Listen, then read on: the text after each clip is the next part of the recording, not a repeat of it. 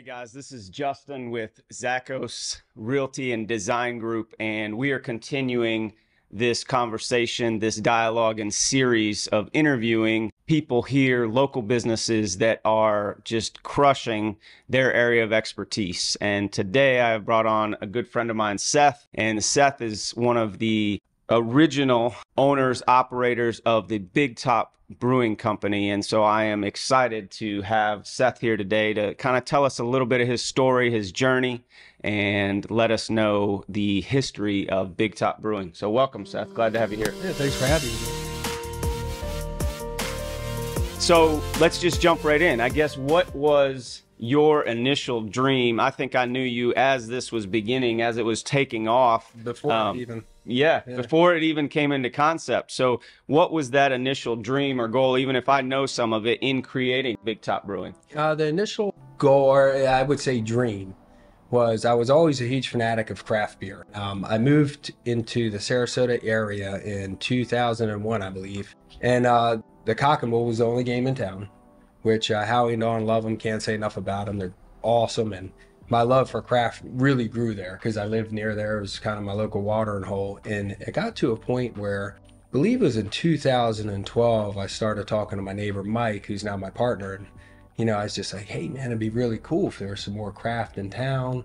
Sure. You know, we're kicking an idea around. I think at the time World of Beer had just opened and um it was just between those two spots, that was about it. And we were talking about, you know, if there was a bigger craft scene, it'd be really, really cool. And then somehow that spun into a conversation with my neighbor about, well, what if we made it? Sure. I said, ironically enough, I have a friend that I ride motorcycles with, and he's been homebrewing for you know 30 years. So we cruised over his house on a weekend and sat around and had some beers on the back porch, and we're drinking. Uh, he had his IPA on at the time, which is our Circus City. I believe he had his pumpkin recipe on too at the time, which is now our pumpkin. And uh, it just was a couple guys sitting around drinking beer, and we spun up the idea of opening a brewery.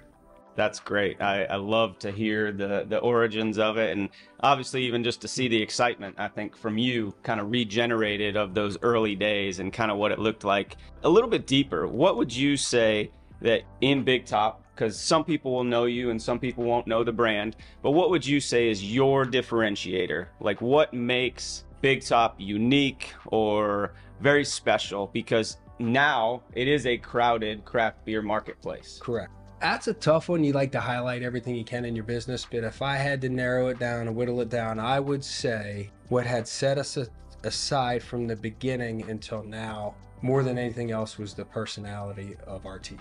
We we started off, and of course, everybody. There's a lot of great breweries in this town, and everybody makes great beer.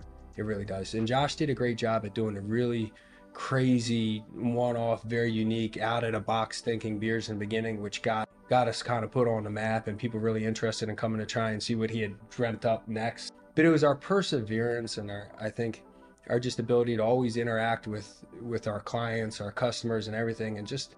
I think I would say our personality. We, we we welcome everybody. We enjoy everybody, and we Yeah. have always done our best to give back to the community and do everything in that way. So I think for what we lacked in startup capital and know-how, and while we were still trying to get our feet underneath us, I think our just our, our personality and ability to get along so well with all of our customers and clientele, I think really set us aside from everything else. So speaking of that, whether it's um, lack of capital or lack of entry into the craft beer business or, or whatever that is, you needed some strategies to catapult you. And and that's the way that I view where you guys are at. People will look at it and you you know 2012, 13, 14 until you actually were there and arriving and then that till now is a relatively short period of time. Mhm. And so the success from you starting here and, and rising to a spot has has been incrementally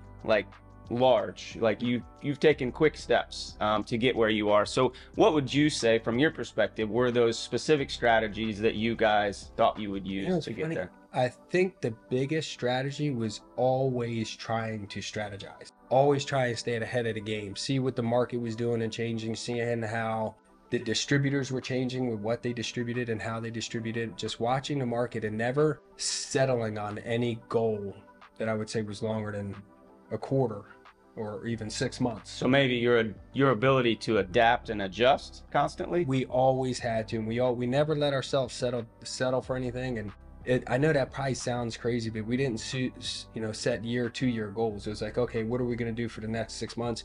And we'd hammer away, and then you know three four months in it, we'd stop and say, how's it working?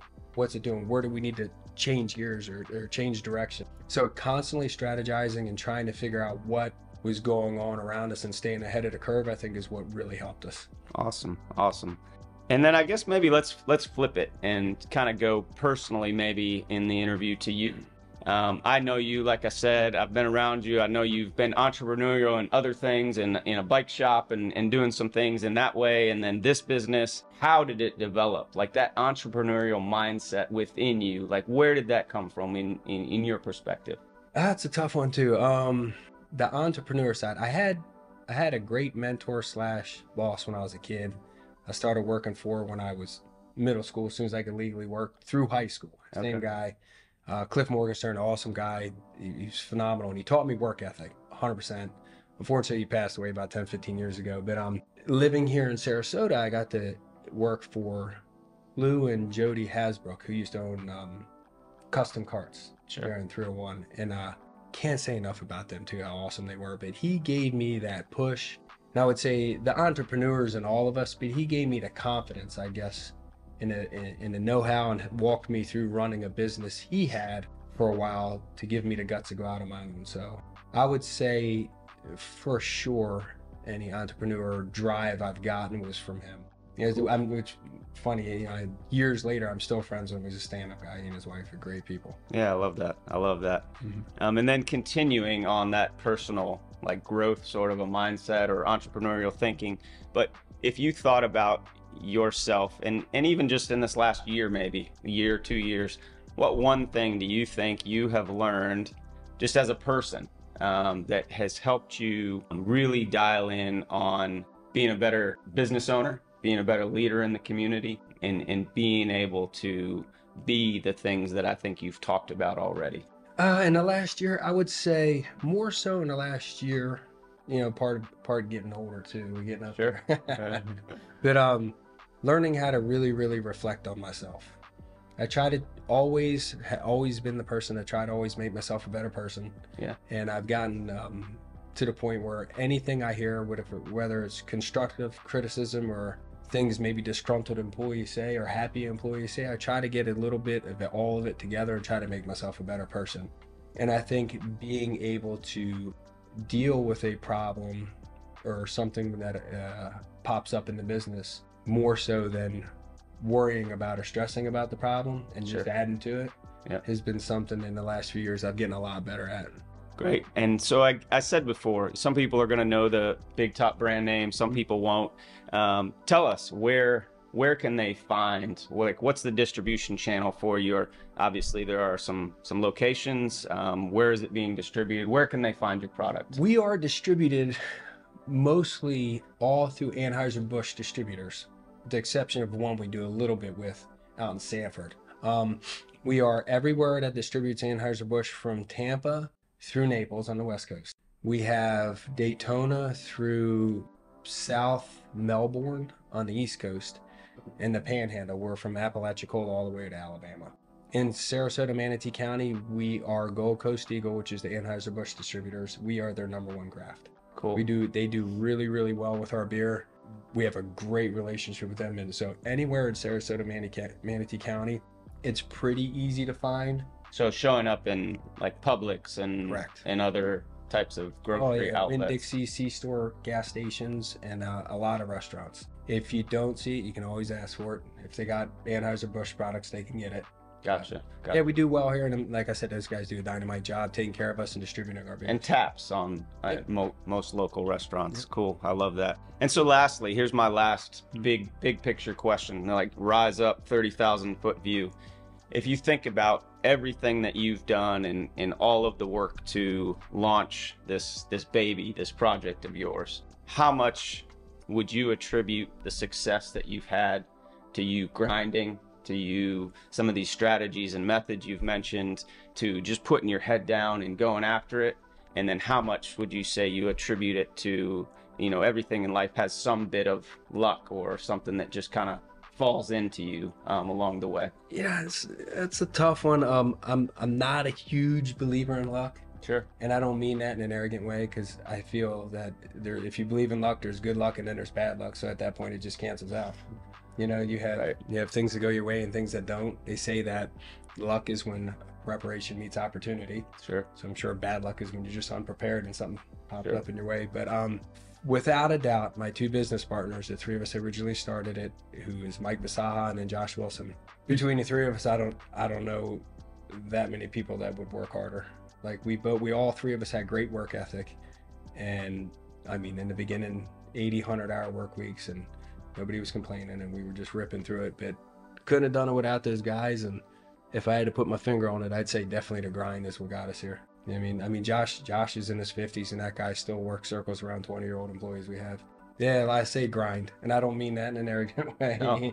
I'm sure you know we've had some good luck. We definitely have had some things fall in place that were perfect timing and everything.